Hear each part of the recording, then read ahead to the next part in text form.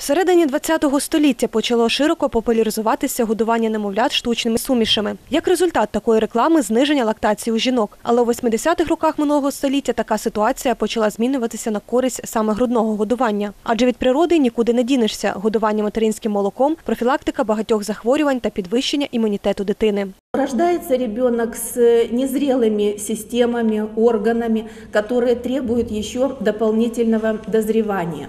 И вот те белки, жиры, углеводы, микроэлементы, которые, м, ферменты, иммуноглобулины, которые входят в состав грудного молока, вот они как раз и способствуют тому, чтобы ребенок спокойно преодолел родовой стресс, чтобы у него нормально функционировал желудочно-кишечный тракт, чтобы у него эм, правильно, своевременно и хорошо сформировалась иммунная система.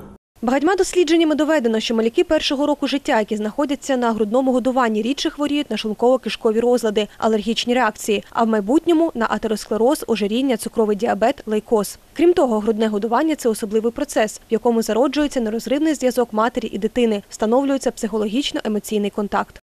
Эмоциональный фон, который создается при близком контакте м, матери и ребенка, когда мама кормит ребенка грудью, он никогда не может замениться м, смесями, потому что вот это тепло, это ощущение м, тела, которое чувствует ребенок, при- когда мама кормит его грудью, оно создает ощущение защиты, теплоты, доброты. Існують випадки, коли у матері не вистачає грудного молока. Навіть в такій ситуації в Україні, як і в усьому світі, заборонено донорське годування груддю через розповсюдження ВІЛ-інфекції. А ось забезпечити хороший імунітет немовляті має і відсутність контакту зі сторонніми людьми, які можуть нести вірусні та бактеріальні інфекції.